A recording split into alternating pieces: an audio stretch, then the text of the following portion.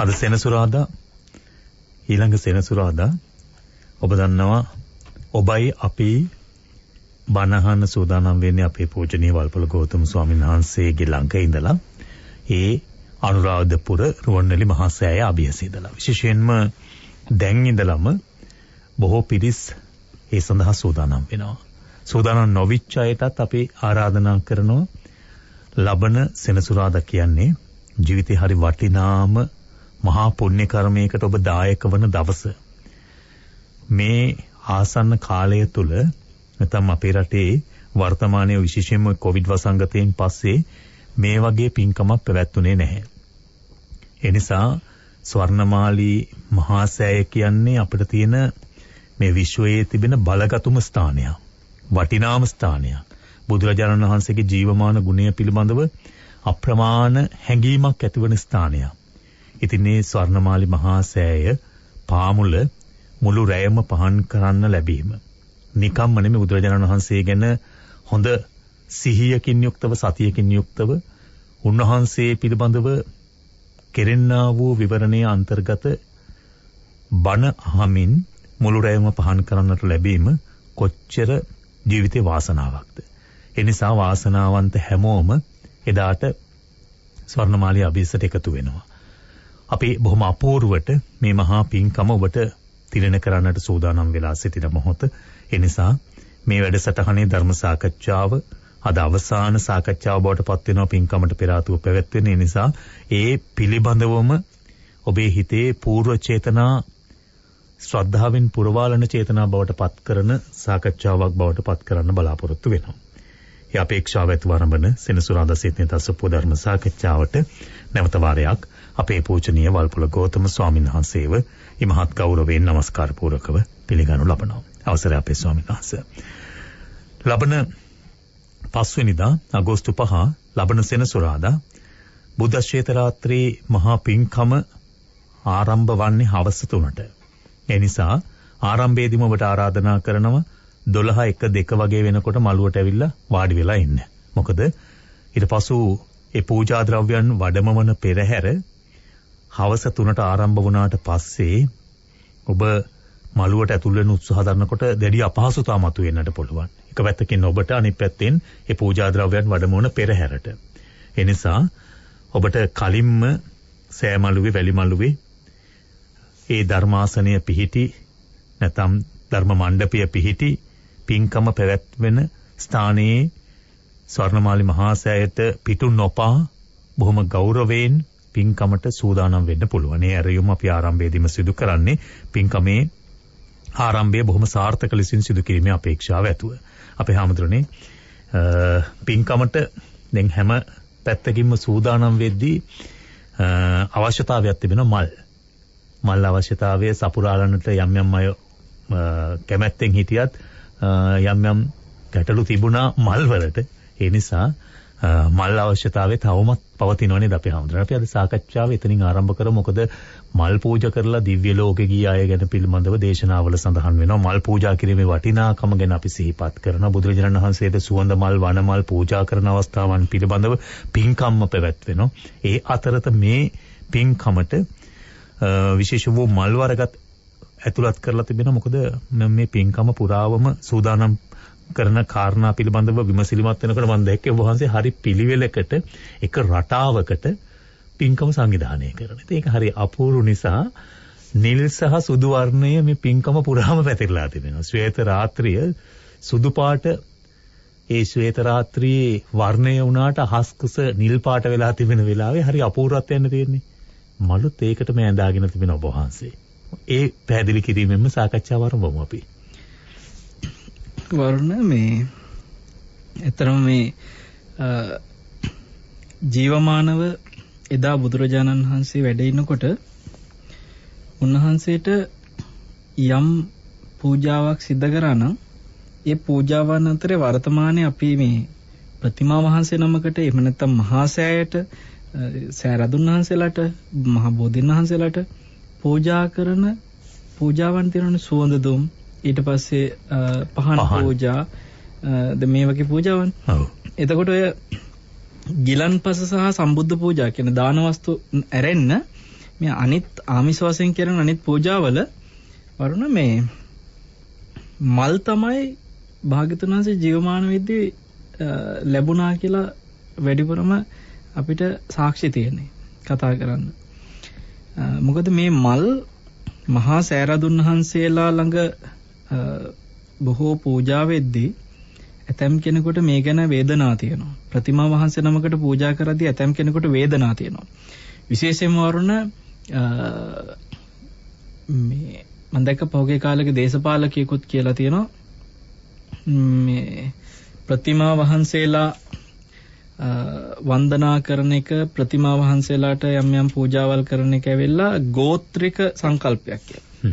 එතකොට මේ ගැනත් පොඩි කාරණයක් හැදින් වෙන්න ඕනේ කියලා හිතුවා මට අද සිතේ තසපු වෙදී. මොකද මේ ආමිෂය කියන එක නිකන් මෝඩ වැඩක් වගේ. ප්‍රාථමික මට්ටමේ දෙයක් වගේ කෙනෙකුට හිතෙනවා. හැබැයි මේක ඇතුළේ ලොකු විද්‍යාත්මක කාරණයක් තියෙනවා. මම මේ විද්‍යාත්මක කාරණේ තේරුම් කරලා දෙන්න ඕනේ ඉස්සෙල්ලම ඒකත් එක්ක අපි මල් වලට යමු ඊට පස්සේ. මොකද මේ මල් මල් කතාව එකට සම්බන්ධ වෙනවා. එහෙමයි. ඇත්තටම වර්ණ මේ ලෝකේ යම්කිසි කෙනෙකුට දෙයක් හඳුනා ගන්න පාවිච්චි කරනවා හැමතිස්සෙම සංකේත. සංඥාවට කියනවා හඳුනා ගැනීම කියලා. එතකොට කෙනෙක් ඕන දෙයක් හඳුනගන්නේ සංඥාවෙන් ඒ සංඥාව හැම වෙලාවෙම ගොඩාක් සංකේතාත්මකව තමයි සිද්ධ වෙන්නේ.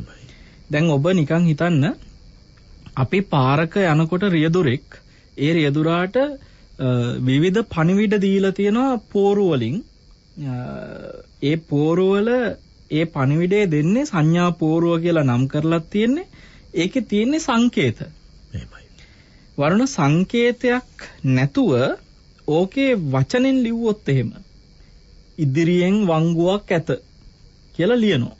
හරිද? එහෙම ලිව්වොත් අර වංගුවක් තියනවා කියන එකට සංකේතයක් තියෙනවනේ. හැබැයි සංකේතේ පාවිච්චි වෙන්නේ නැතුව ඉදිරියෙන් වංගුවක් ඇත කියලා ඔක ලිව්වොත් යන රියදුරා මොන භාෂාව පාවිච්චි කරනවද කියන එක අපි බලන්න වෙනවා. එහෙමයි. ඒතර විවිධ රටවල් වල විවිධ අයත් ඇවිල්ලා මේ ඒ මාර්ගේ යන්න පුළුවන්. එහෙමයි. එතකොට ලෝකේ සිය ගාණක් පාවිච්චි වෙන භාෂා තියෙනවා. එතකොට අර දිය යුතු පණිවිඩේ බොහෝ දෙනෙකුට සමහර විට මග ඇරෙනවා. මොකද අර වචන ටික දන්නේ නැත්තම්. සානිතය කියවන්න එහෙම වෙලා ගන්න බෑ. කියවක කියව ඉන්නත් බෑ. යන ගම. අච්චර වාක්‍ය. මනසට ඉක්මනින්ම රූපය තමයි යනවා. එතකොට වරුණ මෙන්න මේ කාරණා දෙකම කියන්නේ දැන් භාෂා ගොඩකින් පිරෙව්වොත් එහෙම මහා හැල් ටික නවත්තලා කියවලා යම යන්න වෙනවා. හරිද?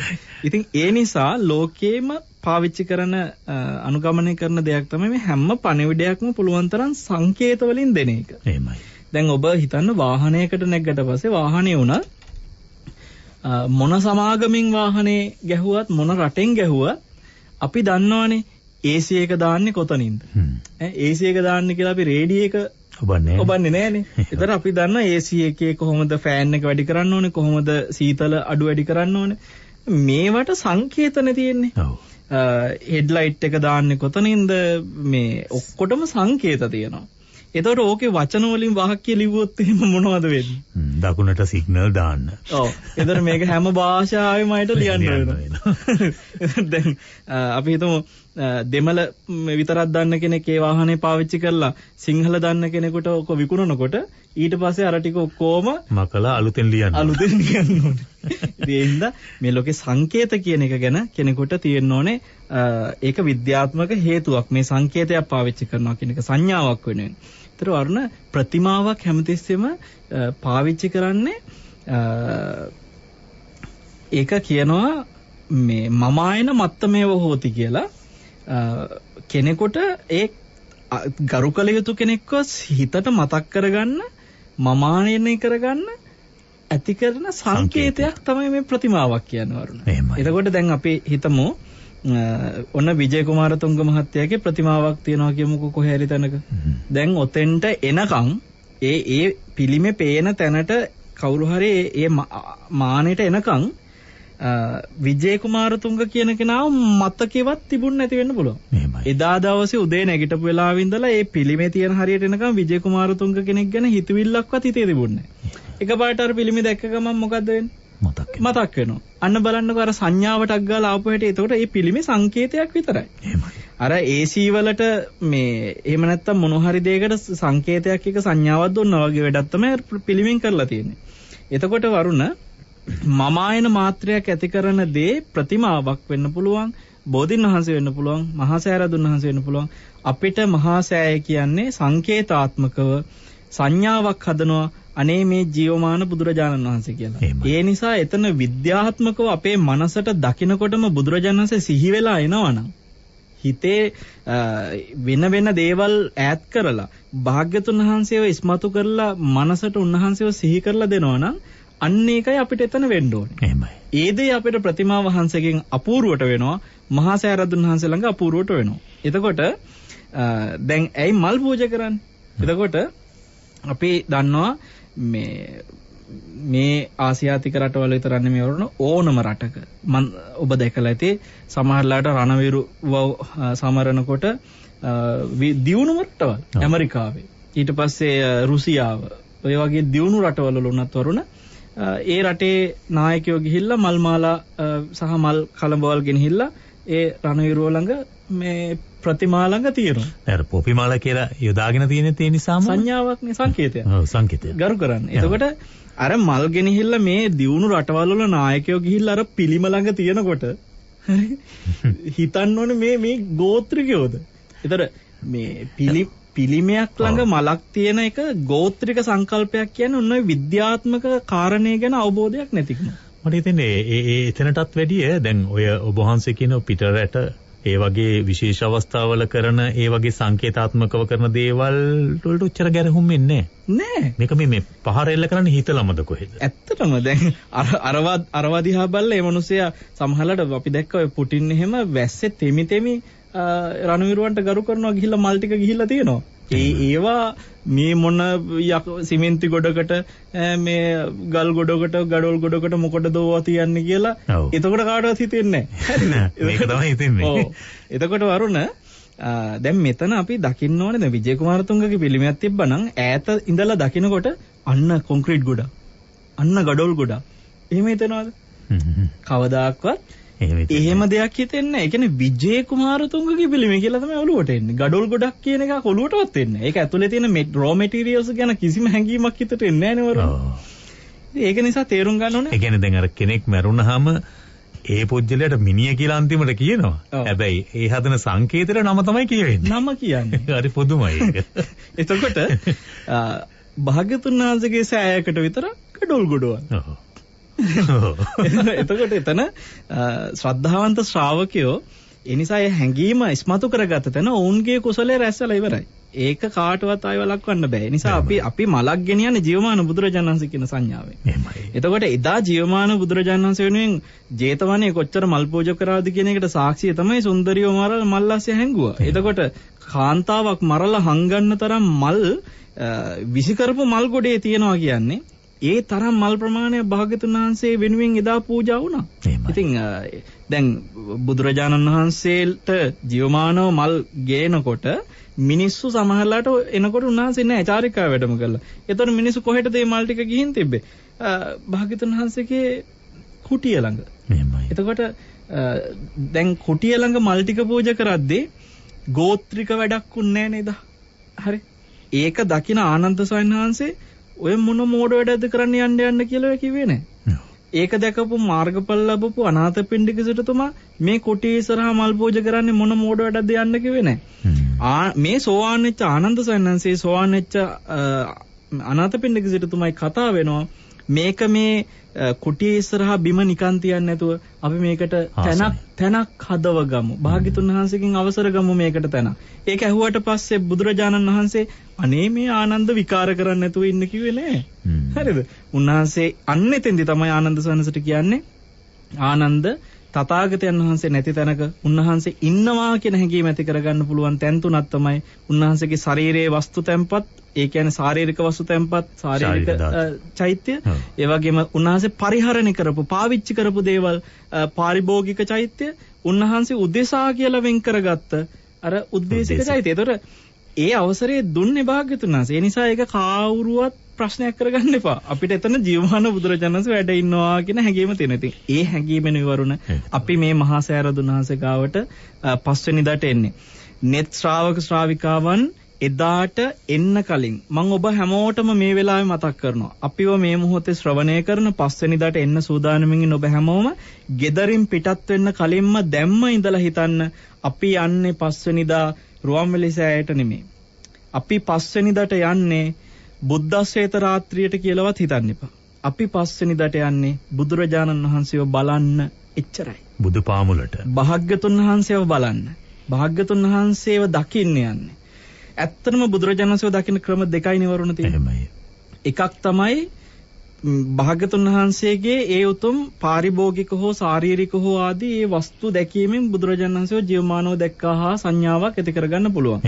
ඒක කවුරුත් නෑ බෑ කියන්න බෑ. ඒක මිහිඳු මහරහතන් වහන්සේ පවා කියලා තියෙනවා භාග්‍යතුන් වහන්සේ විටින් විට බැහැ දකින්න යනවා කියන හැඟීමෙන් ධාතු චෛත්‍ය වඳින්න යනවා කියලා. එතකොට ඒ ප්‍රාථමික මට්ටමේ කෙනෙකුට බුදුන් දකින්න තියෙන මූලික කාරණේ. හැබැයි ඊටත් වඩා තව මනස දියුණු කරන්න කැමති කෙනෙකුට ධර්මයේ ඔස්සේ පටිච්ච සමුප්පාදය දැකීමෙන් භාග්‍යතුන් වහන්සේ දකින්න පුළුවන්.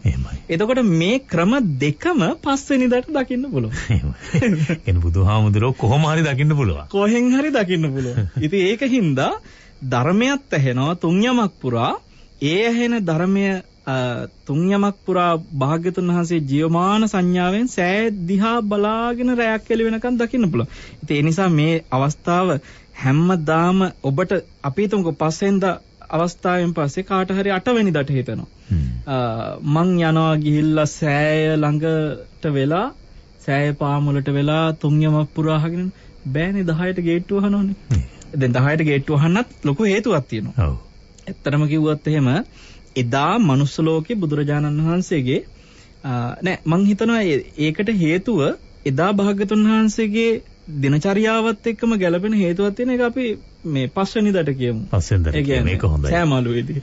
ඒ නිසා ඔබ පස්වෙනිදට අනිවාර්යෙන් එන්න. ඔව්. ඉතින් අපි මේ වෙලාවේ විශේෂයෙන්ම සිහිපත් කරනවා ඔබට භාග්‍යතුන් වහන්සේ වෙනුවෙන් එදාට පින්කමට දැනට කිසිම පූජාවකින් සම්බන්ධ වෙන්න බැරුණා නම් ඔබට තියෙන එකට අවස්ථාවක් අර තුන් මාසේ මල් කියලා කියන මල් වර්ගයක් තියෙනවා හයි රේන්ජස්. ඔව් හයි රේන්ජස් හයි රේන්ජස් කියන මල් වර්ගය. ඒතර මේ හයි රේන්ජියා එක එක නම් වලින් කියනවා සීතල පැතිවල වැවෙන්නේ වැඩිපුර. ඔව්. එතකොට මේ මල් වර්ගයේ තුන් මාසේ මල් කියලාත් කියනවා මේකේ සුදු පාට නිල් පාට අතර යන මලක් මේ මල් වර්ගෙන් අපිට පුළුවන් තරම් මල් කියන්නේ සමහරවිට නිවෙස් වලත් මේ මල් වර්ග වැවෙනවා වරන. ඔබට මතකද කූරගල පවා වවලා තිබුණා. නෙල්ලිගලක් තියෙනවා. මේ වගේ මේ විවිධ නුවර වගේ පැතිවල පවා නුවර එලිම නෙමෙයි ඕන තැනක තියෙනවා. එතකොට නිවෙස් වල තියෙනවා නම් මේ තුන් මාසේ මල් කියලා කියන මල් වර්ගෙ පුළුවන් තරම් හතරවෙනිදාට අපිට මේ මල් ගෙනත් දෙන්න. සමහරු කැමැත්ත පළ කරලා තිබ්බා මේ ඇන්තෝරියම් මල් අරන් එන්න කැමතියි කියලා කමක් නැහැ. ඇන්තෝරියම් මල් වලටත් අපි විශේෂ සැරසිල්ලක් මේ පූජාවක් විදිහට සූදානම් වෙනවා. ඒ නිසා ගේන්න.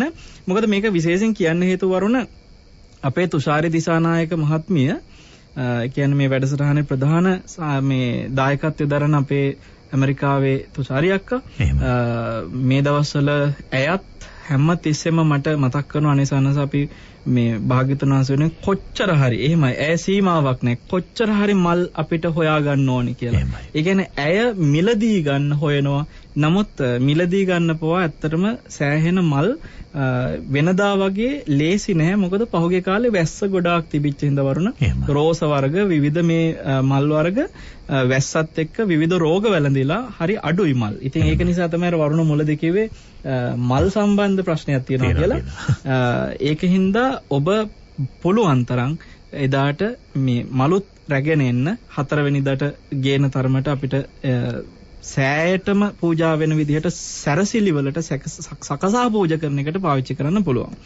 ඉතින් ඒ දුරකථන අංකෙට මම මේ දුරකථන අංකය කිරීමක් කරනවා නම් ඒ කියන්නේ ලොකු ප්‍රමාණයන් වශයෙන් ඔබ ගේනවා නම් ඒ ප්‍රමාණයන් දැනුවත් කරන්න පුළුවන්. ඒ වගේම වරුණ අපේ මේ මල් ගෙනත් බාර දෙන්න ඕන තැනක් හතර වෙන්දර ගේන්න ඕන මල් ඔව් අනිවාර්යයෙන්ම. නැත්තම්. සකසා පූජා කරන්න කාලයක් නැහැනේ. තැනක් හැටියට අපි කියනවා නම් ඔබට තූපාරාමයේ ඉදිරිපස තියෙනවා සංගමිත්තාරාමය කියලා මෙහිණි ආරාමය. අන්න එතෙන්ට තමයි ඔබේ මල් ගෙනල්ලා බාර දෙන්න ඕනේ. එහෙම නැත්තම් දුරකථන අංකයට පණිවිඩයක් දෙන්න මල් ගේනවා කියන එක. එතකොට ඔබට ඒ අවස්ථාවත් ඇත්තටම තමනුත් මේ උතුම් පින්කමට භාග්‍යතුන් වහන්සේව පිදුවා කියලා හැඟීමකින් සතුටු වෙන්න පුළුවන්. හැබැයි ඔබ දුරකථන ඇමතුමට දුරකථන අංකයට ඇමතුමක් දෙන්න ඕනේ එතෙන්ට ඇවිල්ලා නෙමෙයි. ඔව්. සමහර අය මල් ටික අරගෙන හතර වෙන්ද ඇවිල්ලා කතා කරන්න පුළුවන් හවස් වරුවේ. එහෙම වුණොත් හරි ප්‍රශ්නයක් වෙන නිසා කලින්ම ඔබ ඇමතුම දෙනවට වැඩිය ඇත්තටම වටිනවා. කෙටි පණිවිඩයක් ඊටාම කරුණාවෙන් මතක් කරනවා මොකද මේ සමහරව අ, කොහෙද තියෙන්නේ ඇතැම් අය සමහරලාට රෝමෙලසය කොහෙද තියෙන්නේ කියලා හපෝ එක්කෙනෙක් දෙන්නෙකුත් ඉන්නවා. වරුණ. ඉතින් කොහෙද තියෙන්නේ කීයටද තියෙන්නේ කොහොමද වෙන්නේ කී කිය අහලා අහලා ඒවට උත්තර දීලා දීලා අපේ කාර්යාලේ දරුවන්ට උගුරු තුවාල වෙලා තියෙන නිසා මේ ඒ කියන්නේ බැනර් වල දකිනවා මේ බැනර් ඔබ දන්නවා net ශ්‍රාවකයෝ දහස් ගාණක් බැනර් රටපුරා මේ වෙනකොට ප්‍රදර්ශනය කරලා ප්‍රචාරය කරලා තියෙනවා. සංග්‍රාමයක් දියත් කරානේ. දැන් ඊයේ මම පැල්මඩුල්ල පැත්තේ ධර්ම දේශනාවකට ගිහිල්ලා එනකොට මම දැක්ක බැනර් පහකට වඩා පැල්මඩුල් මේ මේ ඇහැලියකොට ඉඳලා එන අතර ටිකට. එතකොට වරුණ මේ net ශ්‍රාවකයෝ ඉතාම ගෞරවයෙන් මේ බැනර් ප්‍රදර්ශනය කරා. ඒව දැකලා දුරකථන ඇමතුම් දෙනවා අර බැනර් එකේ එයා ඉතින් දන්නේ නැති හින්දා දැනුවත් වෙන්න. ඉතින්. ඇමතුම් වැඩි. ඒ නිසා පුළුවන් තරම් පණිවිඩයක් තියන්න පුළුවන් හැමෝම WhatsApp මාර්ගයෙන් තියන්න. තියන්නත් පුළුවන් කෙටි පණිවිඩයක් විදිහට තියන්න පුළුවන් සාමාන්‍ය මට්ටමේනිත් අ, 0.74යි 0.74යි 74යි 74 හැමදාම අපි මතක් කරන දුරකථන අංකය මේ අංකය ඔබ ලියා ගන්න 0.74යි 0.74යි 74යි 74 මොකටද මේ අංකේ මතක් කළේ හයි රේන්ජස් කියන නැත්නම් තුම්මාසි මල් කියන මල් හතරවෙන්දා උදේවරුවේ ඔබට මේ පින්කමට ගෙනවිත් බාර දෙන්නට පුළුවන් කමක් තිබෙනවා නම් අනිවාර්යයෙන්ම ඔබට ඒ සඳහා අවකාශය උදා කරලා දෙන්නේ මේ දුරකථන අංකයට කෙටි පණිවිඩයක් යන මට මෙච්චර මල් ප්‍රමාණයක් ගේන්න පුළුවන් කියලා. 0.74යි 0.74යි 74යි 74 ගෙනවිත් බාර දෙන අය උදෑසනම නැත්නම් පෙරවරු කාලයේම ගෙනවිත් බාර දෙන්න තූපාරාම සෑයට ඉදිරිපස තිබෙන සංගමිත්තාරාම ඒ මෙහෙණියාරාමයට කියන්නේ තූපාරාම සෑයේ ඉඳලා බසවක්කුලම වැව පැත්තට එනකොට තියෙනවා සංගමිත්තාරාමය. ඒතර මේ සංගමිත්තාරාමයට තමයි බාර දෙන්නේ. වරුණ මේ දැන් තමයි හොඳම කොටස අපි මේ පින්කමේ කතා කළ යුතුම කොටස මේ අපි මේ පින්කමේ බුද්ධ රාත්‍රියේ සුවිශේෂ පූජාවක් හරියට කිව්වොත් මහා සෑ රදුන් වහන්සේ ළඟ කිසිදා නොදුටු කිසිදා නොඇසු කිසිදා නොසිතු මහා පූජාවක් මහා. පූජාවක් සිදු වෙනවා. ඒ මොකද්ද? අපි මේ පූජාව නම් කළා වරුණ චතුරාතංක නිරාම පූජාව නමින්. චතුරාර් චතුරාතංක නිරාම පූජාව. ඉතින් මේ චතුරාතංක නිරාම මේ මේ අමුතු අමුතු පූජා හදලා කියලා එහෙම කවුරුවත් මෙතෙන්දී මේ හිතේ ගැටීමක් ඇති කරගන්න එපා. මේක පැහැදිලි කරලා මින්. පැහැදිලි කරලා දෙන්න ඕනේ. චතු කියන්නේ හතරට. හරිද? ආතංක කියලා කියන්නේ රෝගවලට. එතකොට චතුරාතංක කියලා කියන්නේ රෝග හතරක්. කාගේ රෝගද? අපි මෙතන රෝග කියන වචනේ ආබාධ කියන වචනේ පාවිච්චි නොකර ආතංක කියලා රෝගවලට තියෙන සමාන pāli වචනය. බුද්ධ වචනය තුල තියෙන සමාන වචනයක් ගත්තා. මොකද භාග්‍යතුන් වහන්සේට රෝග වැළඳුනා භාග්‍යතුන් වහන්සේ ආබාධුනා කියන වචනේ කියන්න අපිට හිතට දෙන්නේ නැහැ. ඒ නිසා භාග්‍යතුන් වහන්සේට වැළඳිච්ච සතර ආතංක කියන නම අපි පාවිච්චි කරන්න ඔබටත් යෝජනා කරන ගමන් ඒ නම ඒ විදිහට යෙදුවා. උන්වහන්සේට වැළඳුණු රෝග හතර අපි නම් කළේ චතුරාතංක කියලා. එහෙමයි. එතකොට නිරාම පූජාව කියන්නේ උන්වහන්සේව සුවපත් කරන්න කරන පූජාව. ඒ ඒ රෝග වෙනුවෙන් සුවපත් කරන්න. දැන් ඔබ දන්නවා සෑයකට බෝධීන් වහන්සේ නමක් ළඟ සුපුරුදු විදියට කොහොමද ඖෂධ පූජාවන් වෙනවා. එතකොට මේ ඖෂධ පූජාවන් ඊටත් වඩා ජීවමාන සංඥාවෙන් වෛද්‍යවරුන්ගේ උපදෙස් මත වෛද්‍යවරු නියම කරපු කසාය වර්ග වලින් වෛද්‍යවරු නියම කරපු තෙල් වර්ග වලින්ම භාග්‍යතුන් වහන්සේ වෙනුවෙන් විශේෂ ඖෂධ 108ක් ඒ කියන්නේ රෝග හතරට එක රෝගයකට 27 ගානේ ඖෂධ 108ක් එදාට වරුණ. සකස් වෙනවා. ඒවා සකස් වෙන්නේ ඊටාම ගෞරවයෙන් සඳුන් දරින් වරුණ ඒ කසාය තම්බනවා. එහෙමයි. ඒ වගේම අපිට දැනටත් ඡායාරූප වීඩියෝ එවනවා තෙල් වර්ග සකස් කරනකොට වෛද්‍යවරියන් පවා එකට ගෞරවයෙන් උපකාර කරමින් ස්වාමීන් වහන්සේලා මේ වඩම්මලා පිරිත් කියමින් පිරිත් කියමින් සමන් පිච්චමල් වතුරෙන් ඒ ඖෂධ සෝදමින් මේ පුදුමාකාර ගෞරවයකින් වරුණ මේ මේ මුඛවාඩම් බැඳගෙන ඒ පිරිත් කරමින් ගෞරවයෙන් හදපු තෙල් සහ පොට්ටනි අර තැවිලි ඒ වගේම චූර්ණ වර්ග මේ අරිෂ්ඨ වර්ග කසාය වර්ග මේවා ඊටාම ගෞරවයෙන් එදාට සකස් කරලා මහා සෑරදුන් වහන්සේ උදෙසා පූජා කරන මේ පූජාවට තමයි චතුරා තංක නිරාම පූජාව කියලා කිව්වේ. ඒතර මේ පූජාව තුන් යමක් පුරා කෙරෙන ඒ උතුම් වැඩසටහනට පෙර ආතුවනේ සිද්ධ වෙන්නේ වරුණ. එහෙමයි. 108ක් එක එක විදිහට පාත්‍ර වලින් උඩුවියන් යටින් සුන්දරව වඩම්මගෙන ඇවිල්ලා ජීවමාන බුදුරජාණන් වහන්සේ කියන සංඥාවෙන් ගම්මාන 108ක් අ, වෛද්‍යවරු 108ක් අ, එතකොට පාරම්පරික වෛද්‍යවරු 108කගේ උපදෙස් මතම ගෞරවයෙන් සිද්ධ කරපු මේ උතුම් ඖෂධ පූජාව මහා සෑය වට්ට ප්‍රමාණයම පූජා කරන. ආකාරයට වටේටම තැන්පත් කරන ආකාරයට මේ පූජාවන් වඩම්මල පූජා කරනවා. ඒතකොට වරුණ ප්‍රත්‍ය අප්‍රත්‍ය ආහාර කියලා දෙයක් තියෙනවා මේ බෙහෙත් වළඳනකොට ඖෂධ ගන්නකොට. එහෙමයි. ඒ කියන්නේ බෙහෙත් වලට අර කයේ රෝගය සුවපත් කරන එක පමා කරන්න හෝ වළක්වන්න හෝ බලපාන ආහාර තියෙනවා. ඒවට කියනවා අප්‍රත්‍ය ආහාර. ප්‍රත්‍ය ආහාර කියලා කියන්නේ ඉක්මනට සුවපත් කරන්න බලපාන ආහාර. ඒ කියන්නේ අපේ හෙළ වෙදකමත් එක්ක බොහොම සමීපයි මේ දේ. වෙදකමනේ දැන් මේ ඖෂධ පූජා කරන එක. මේ කියන්නේ හෙදකම. එහෙමයි. එතකොට වරුණ එතනදී විශේෂයෙන්ම රෝගයට උපකාරී රෝගය සුවපත් වෙන්න උපකාරී වෙන හෝ බෙහෙතට උපකාරී වෙන හෝ ඒ ප්‍රත්‍ය ආහාර පූජා කරන එකට විනේ තේනවා ගිලාන බත්තය කියලා. ගිලාන බත්. ගිලාන බත්තය.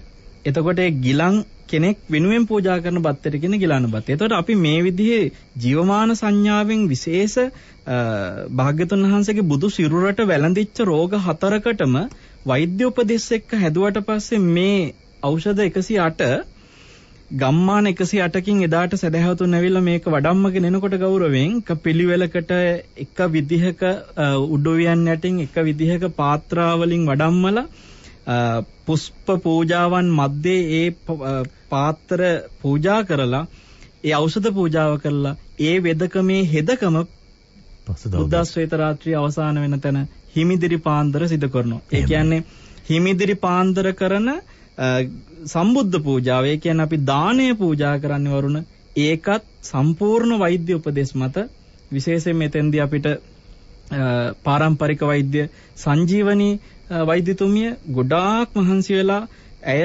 හැම ඒ රෝගයකටම මේ බෙහෙත් වලට ඕන කරන විදියට ව්‍යංජන ඒ බත් වර්ග. ඒ ඇතරම මේ පූජාව මට ඇස් වලට කියන්නේ කඳුළු ආපු පුදුමාකාර ගෞරවයකින් ඇය. දවස් ගණන් කැප කරලා එතන ඒ සකස් කරනවා ඒ වට්ටෝරු ටික වරුණ එතනත් හරි අපූර්වයි රෝග හතරක් තියෙනවානේ. එක රෝගයකට කැප්පම ප්‍රත්‍යම ව්‍යංජන අට ගානේ රෝග හතරට. දෝලා හතරකින් වඩම්මගෙන එනවා මේ එතකොට ව්‍යංජන අට ගානේ හතරක් කීයද වරුණ 32යි. 32යි. 30 දෙතිස් ව්‍යංජන පූජාව මොනවා හරි ව්‍යංජනනේ. මෙතෙක් පූජෝනේ. දැන් මේ වෙලාවේ බුදු සිරුරට වැළඳුන ඒ සිව් රෝග ඒ ආතංක හතරටම උපකාරී වෙන ප්‍රත්‍ය වෙන විදිහට තමයි ව්‍යංජන ටික තෝරාගෙන තියෙන්නේ. මොන තරම් ජීවමාන සංඥාවකින්ද කියලා ඔබ හිතන්න. එහෙමයි. මේ පින්කමේ හැම පළතුරක්ම හැම කැඳක්ම ඒ යාග පූජාවන්.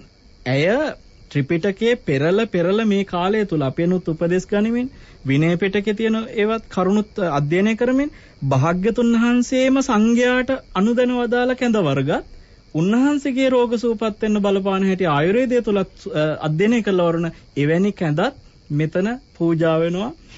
මේක මහා පුදුමාකාර. එකයි කිසිදා නොඇසු කිසිදා නොදුටු කිසිදා නොසිතු සුන්දර පින්කමක් මේ වෙලාවේ මේ සිද්ධ වෙන්නේ. තුන් යමක් පුරා බුදු ගුණ අහන්න ලැබෙන එක විතරක් නෙමෙයි. නිසා අපි ඔබට කියනවා ඇත්තටම එදාට රේඩියෝ එකෙන් අහන්න පුළුවන් රැයලි වෙනකන්.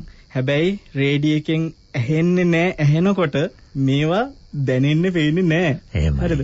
ඒ නිසා ඔබට අපි ආරාධනා කරනවා මේ ආශ්චර්යමත් පින්කම දැක ගන්න ඒ සුන්දර පින්කම අත්විඳ ගන්න මැරෙන මොහොතේ හරි අනේ අපිට මෙහෙම පින්කමකට එදා අපි ගියා කියලා ඔබට හදවතට දැනෙන්න මතක හිටින්න ඔබේ ජීවිතයේ අත්දැකින මෙවැනි පින්කමක් සමහරට අපිටත් ආයේ කරන්න කාලයක් තියෙයිද දන්නේ නැහැ. අපේ ජීවිතයේ අපේ ආයුෂ කොහොම කවදා අවසන් වෙයිද දන්නේ සමහරු මේවට හිතට දුක් ඇති කරගන්න ඔච්චර ඔච්චර ලොකුවට ඕනේ නැහැ. අපි මේ 2016න් පස්සේ කියන්නේ අවුරුදු 7කට පස්සේ තමයි වරුණ නැවත මේ පින්කමක් මේ විදිහට සිදු කරන්නේ.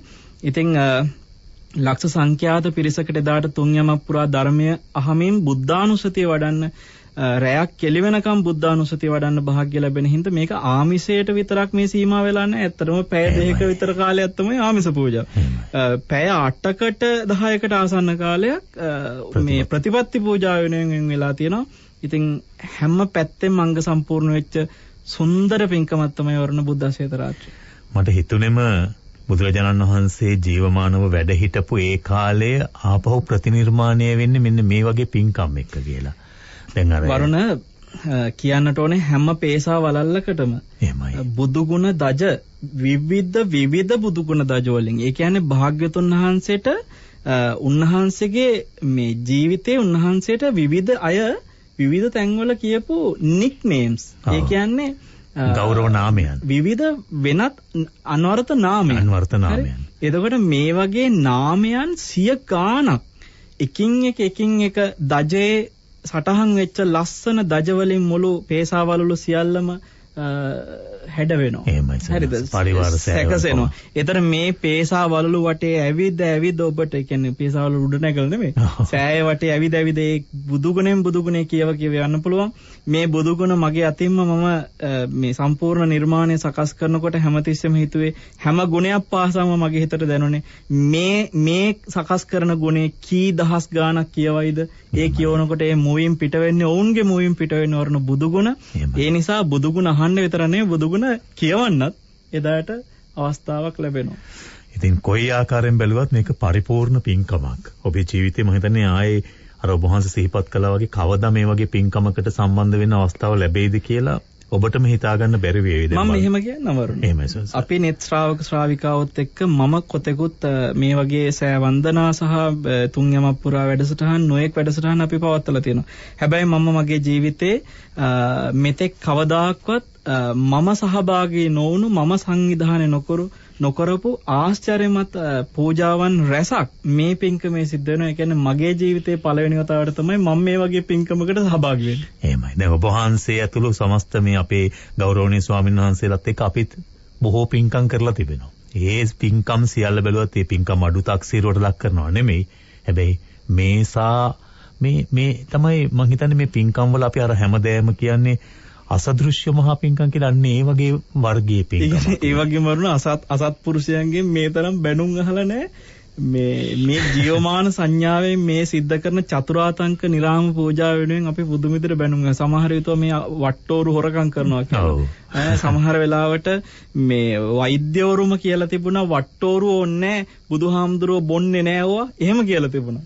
බොන්නේ නෑ ඕන එකක් ගිහිල්ලා පූජා කරන්න ඔය වෙනිවැල් ගැට ටිකක් මොන හරි ටික. පාරාර මේ මුලින් අපි ඒක තමයි පැහැදිලි කරන්නේ. සංඥාව පිළිබඳ ප්‍රශ්නේ. ඒක නිසා මෙපමණ බැනුම් අහගෙන සත්පුරුෂයන්ගෙන් මේ කරන පින්කම මං හිතනවා දෙවියන් පවා බඹුන් පවා එදාට දැන් අපි මනුස්ස ලෝකෙන්නේ කතා කරන්නේ. දෙව් බඹුන් පවා පුදුමාකාර ගෞරවයකින් මොකද මහා සෑරදුන් වහන්සේ ළඟ මේ වගේ ආශ්චර්යමත් ඖෂධ පූජාවක් මං හිතන්නේ පළවෙනි වතාවට සිද්ධ වෙන මොකද බුදු සිරුරට වැළඳෙච්ච රෝග වෙනුවෙන්ම වෛද්‍ය උපදෙස් ලබාගෙනම සකස් කරන දස දිස. කියන්නේ සිව් දෙසනේ රටේ සිව් දෙසින් එනවා වරුණ. සිව් දෙසින් එන්නේ සිව් රෝගවලට සිව් ආතංකවලට ඖෂධ සකස් කරගෙන.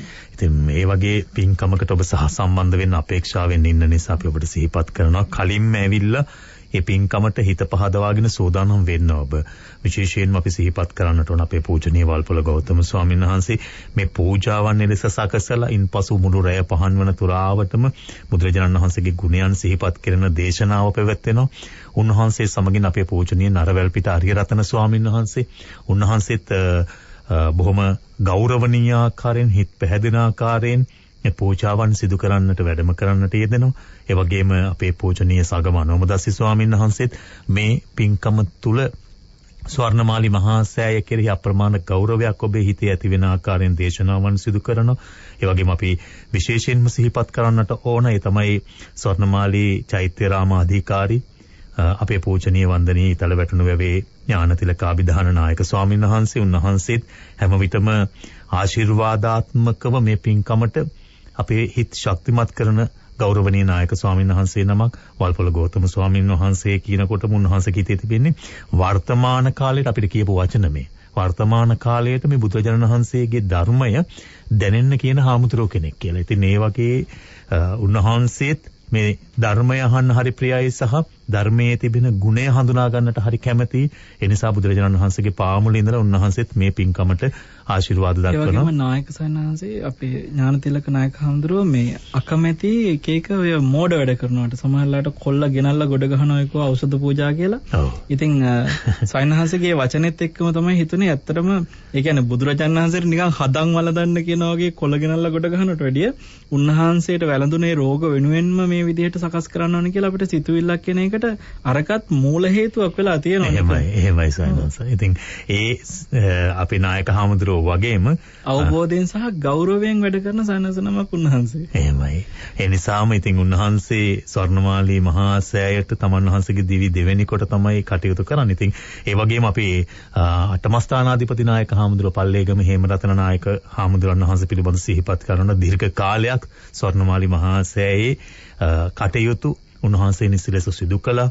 ඒ අප්‍රමාණ ගෞරවය හිතේ තබාගෙනම කටයුතු කරපු නිසා තමයි ස්වර්ණමාලියට මේ තරම්ම ගෞරවයකින් අපිට වඳින්නට අවකාශ උදා වෙලා තිබෙන්නේ. ඉතින් අපි උන්වහන්සේගේ ආශිර්වාදයත් ඔබට පින්කම ආරම්භයේදීම ලං කරන්නට බලාපොරොත්තු වෙනවා. ඉතින් මේ ගෞරවනීය මහා සංගරුවන පස්වෙනිදා සන්ධ්‍යාවේ මේ රුවන්වැලි මහා සෑයට රුවන්වැලි මහා සෑය අභියස පාමුල ඒ උතුම් බුදු ගුණයන් සිහිපත් කෙරෙන අසිරිමත් වූ පින්කමට සහ සම්බන්ධ වෙන්නේ ඔබේ අපේ අසරණ භාවය ඔබේ අපේ ජීවිතයට සැනසුම උදාපත් කර දීමේ අටියෙන් අද වැඩසටහන නිමාවටපත් කරන්නත් කාලය ලැබෙලා තිබෙන අපි හැමදෙරෝනේ අපි නැවත සිහිපත් කරන්නට ඕන. මල් තමයි අපිට දැන් අවශ්‍ය වෙලා තිබෙන ප්‍රධානම දේ. හයි රේන්ජස් කියන මල් වර්ගයේ නැත්නම් තුන් මාසේ මල් කියන මල්. හතර වෙනිදට උදේ ඉඳලා ගෙනවිත් දෙන්නට පුළුවන් තූපාරාමය අසල තිබෙන සංගමිත්තාරාම ආරාම මෙහෙණි ආරාමයට ගෙනවිත් බාර දෙන්න පුළුවන්. මෙන්න මේ දුරකථන අංකේ නැවත ඔබ සටහන් කරගෙන ඒ පිළිබඳව තොරතුරු දැනගන්න කෙටි පණිවිඩයක් යොමු කළ ඔබට ඒ හැකියාව තිබෙනවා නම් ඒ අවශ්‍යතාවය සපුරාලන්නට හැකියාව තිබෙනවා නම් ඒ සඳහා දායක වෙන්න 074යි 074යි 74යි 74 කියන දුරකථන අංකේ විවෘතයි. තව විනාඩි දෙකක් වගේ තිබෙනවා අපේ හැමදෙරෝනේ. අද අන්තිම දවස මේ පින්කමට පෙර ආතුව තව මොන හරි අපි සිහිපත් කළ යුතු දෙයක් තිබෙනවද? වරුණ අපි මේ විශේෂයෙන් මතක් කරන්න ඕන දෙයක් තමයි දැන් මේ පෙරහැර ක්‍රමවත්ව සංවිධානාත්මකව පිළිවෙලට අපි සකස් කරලා තියෙනවා වරුණ. හැබැයි අපේ මේ පෙරහැරේ දැන් 108ක් වූ මේ ඖෂධ පාත්‍රාවන් හදාගෙන එනවනේ. දැන් මේ පාත්‍රාවක් හදන තැනකට පවා මං ගිහිල්ලා ඒවා මේ කැප ප්‍රමාණ කතා කරගෙන ඒ විදිහට විනයානුකූලව සකස් කරලා මැටි පාත්‍ර හදලා තියෙන්නේ. එහෙමයි. එතකොට අපේ මේ මැටි පාත්‍රය පවා කැප විදිහට ඒක සිද්ධ කරන්න ඕන නිසා ඒව කළේ. හැබැයි ඉතින් මේ පෙරහැරේ මේ වඩම්මගෙන එනකොට වරුණ වැඩි ශ්‍රද්ධාවෙන්ද වැඩි ගෞරවයෙන්ද ඇවිල්ලා පොර කාලා අත ගහන්න කියලා ආවොත් මේක පූජා කරන්න ඉස්සලා බින්දලා යන්න පුළුවන්. මේ අර පෙත්මගේම පූජ වේ. පූජ වේ. ඒ නිසා එහෙම කරන්න එපා. ඒ කියන්නේ මැටි පාත්‍ර බිදිලා කුඩු වෙන පුළුවන්. ඒ නිසා සංයමයෙන් ඔබ ඉන්න තැනක ඉඳලා මොකද ලක්ෂ සංඛ්‍යාත පිරිසකට අත ගහන්න බෑනේ. ඉන්න තැනක ඉඳලා එදාට සාදුකාර දෙමින් අනුමෝදන් වෙන්නේ පෙරහැර වඩම්මන වෙලාවට. කවුරුවත් මං net ශ්‍රාවකයන්ගෙන් කාරුණික වෙල්ලීමක් කරනවා. අපිට ඔතන ආරක්ෂක අංශ දාලා හසුරවනවට වැඩිය මං කැමතියි ඔබ ශ්‍රද්ධාවෙන් ගෞරවයෙන් බුද්ධියෙන් පෙරහැරට නිදහසේ එන්න ඉඩ හදලා ඔබ ඉන්න තැනක ඉඳලා සාදුකාර දෙමින් ඉන්න කියන පණිවිඩය විශේෂයෙන් සිහිපත් කරනවා වරුණ මොකද එදාට අපි සංසුන් හිතින් පින්කම කරමු කලබලයක් ඇති නොවන සාන්ත මනසකින් බුදුගුණ සිහි කරමින් එදාට සහභාගී වෙමු. ඒ ආරාධනාව අපිත් එලෙසින්ම ඔබට කරන්නේ මොකද මේ පින්කම හවස 3ට ආරම්භ වෙලා ඊට පස්සේ සවස් 5ට තමයි අපි පින්කමේ අනුශාසන ආරම්භ කරන්නේ. උදෑසන 6 දක්වා පින්කම් පැවැත්වෙනවා. අද දේශනාවේදී අපේ හාමුදුරුවෝ ආහාර පිළිබඳව අපි ඩයට් ප්ලෑන් එකක් කිව්වනේ බුදුරජාණන් වහන්සේ සිහිපත් කරපේ. ඒ වගේ හොඳට කුසට ධර්මය පුරවගන්න හිතාගෙන එතෙන්ට එන්න. ඒ අපේක්ෂාවෙන් ඇවිල්ලා. කුසගින්නක් ඇති වුණොත් මොනවා හරි කෙටි දෙයක් බිස්කට් හරි මොනවා හරි වගේ දෙයක් අරගෙන එන්න ළඟ තියාගන්න. එතෙන්දී වගේම විශේෂයෙන් මම හිතනවා වරුණ උදෑසන වෙනකන් ඉන්න නිසා Tamanට Taman සතුව තියාගත්තම කොහෙවත් ඇවිදින්න දන්සලක් තිබුණාට දන්සලටවත් යන්න නැතුව Taman ළඟ ඒ ආරාධනාව අපි ඔබට කරනවා අපි ලබන පස්වෙනිදා ලබන සෙනසුරාදා උතුම් වූ ස්වර්ණමාලි මහා සෑය අභියසදි මුණ ගැසෙමු මේ අසිරිමත් වූ පින්කම සමගින් බුද්ධ ශ්වේත රාත්‍රිය සමගින් එනකොට පාසල් උපකරණයක් ගේන්න තමතක කරන්න එපා කියන කාරණය සිහිපත් කරමින් පූජනීය වල්පොල ගෞතම ස්වාමීන් වහන්සේට නිදුක් නිරෝගී දීර්ඝායුෂ ධර්ම අවබෝධය ප්‍රාර්ථනා කරමින් සෙනසුරාදා සිතේ තසපූර්ණිමා කරනවා. හැම දිනකටම තෙරුවන් සරණයි.